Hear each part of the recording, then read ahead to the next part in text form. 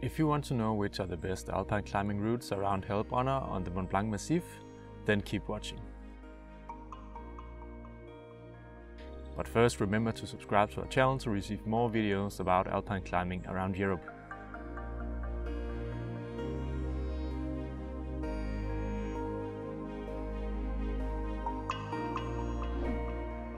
Helbronner is on the Italian side of the Mont Blanc Massif and you can approach this area from several different ways. If you're staying in Chamonix, you can take the lift to Aiguille du Midi and hike over Vallee Blanche, or you can actually take your car and drive through the immense 16 kilometers long Mont Blanc tunnel to Courmayeur on the other side and take the lift from there up to Punta Helbronner. Just next to Punta Helbronner at 3,300 meters, uh, there is the Torino Hut, and this is an excellent base for alpine climbing around Helbronner. But more about that later. Let's start by taking a look at the different climbs around the area. In the near proximity of the Torino Hut, you'll find the Aiguille Marbrées Traverse, which is a stunning ridge climb at AD plus 5A and you'll also find the Petit Flambeau with this northeast ridge at Great PD. But there's also a lot of other great peaks to explore around uh, the Torino Hut and in the Helbronner area, such as uh, Tour Ronde and Aiguille Entrèves. Um, a lot of different climbs that grade from AD to TD.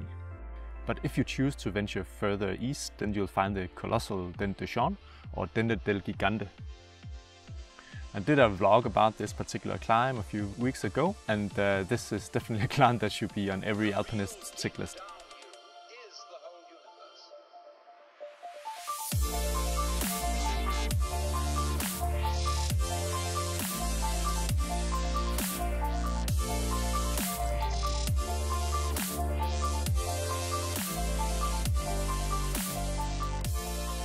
Even further east you'll find the Rochefort Ridge and the Grand Jorasses, an area that is worth a vlog in itself and something that's definitely on my tick list.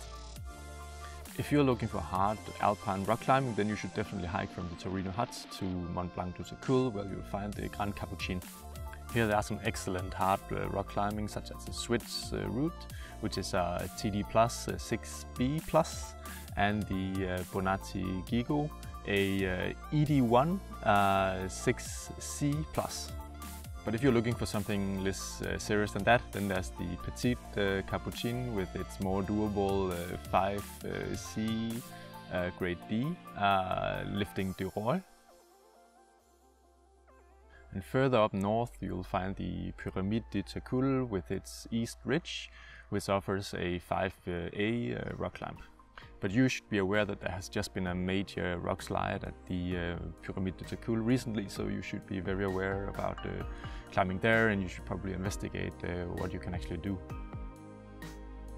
As mentioned earlier, the uh, Torino Hut will be your base for the climbing around Helbronner.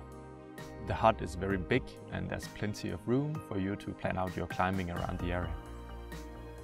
The food there is nothing special. It's definitely not the same standard as the Albert Premier Hut uh, on the La Tour Glacier that I spoke about in an earlier vlog about that area.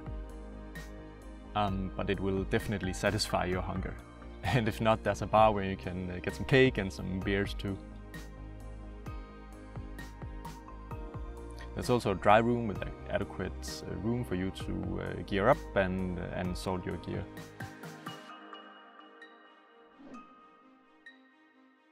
You should be aware that there's no bivy places outside the hut, so if you choose to bring your own tents, then you have to camp at the Col du Géant, just uh, north of the hut.